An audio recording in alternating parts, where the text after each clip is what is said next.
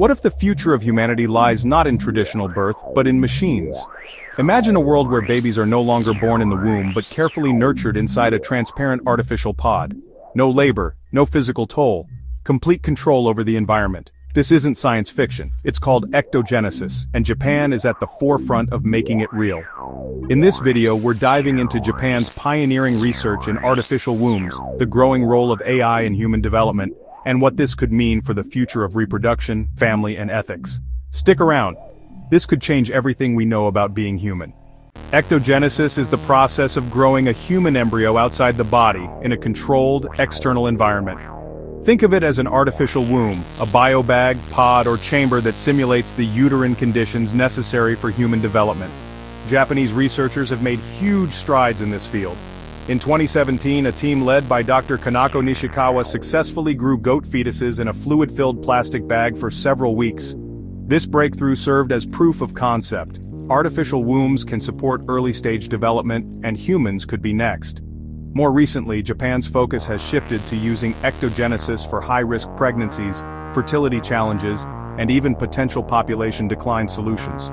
With one of the world's lowest birth rates, Japan sees artificial reproduction as a potential answer to its demographic crisis. But here's where it gets deep.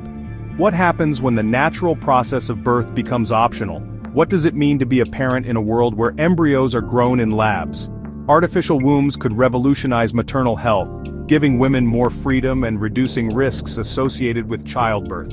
LGBTQ plus couples and individuals struggling with infertility could finally have a more direct biological path to parenthood. But it's not all upside. Who controls the pods? Who gets access? Could this lead to designer babies, economic inequality, or even state-controlled reproduction? And emotionally, will people bond the same way with children born without physical connection? What would you do if you had the option to grow a child outside the womb? Drop your thoughts in the comments. This is the kind of discussion we need now, more than ever. Now let's add another layer, artificial intelligence. AI is already helping optimize IVF treatments and predict embryo viability. In ectogenesis, AI could manage the entire developmental environment, monitoring oxygen levels, nutrient flow, fetal growth, and even early behavior signals. Some startups are developing predictive models to simulate pregnancy outcomes. Others are working on AI-integrated biobags that adjust in real time based on fetal biometrics. We're looking at a future where AI doesn't just assist in reproduction, it becomes a co-pilot in creating life. AI could even analyze genetic data to flag early developmental concerns, reduce congenital disorders and improve outcomes. But again, who sets the algorithms? And what biases might be baked in? So where does this all lead? In 10-20 years we may see neonatal development pods in hospitals helping premature babies survive with greater safety. In 30 years we might have fully artificial gestation, where pregnancy is no longer required at all. This raises powerful questions. Will natural pregnancy become rare? Could this technology help solve population crises or deepen global inequalities?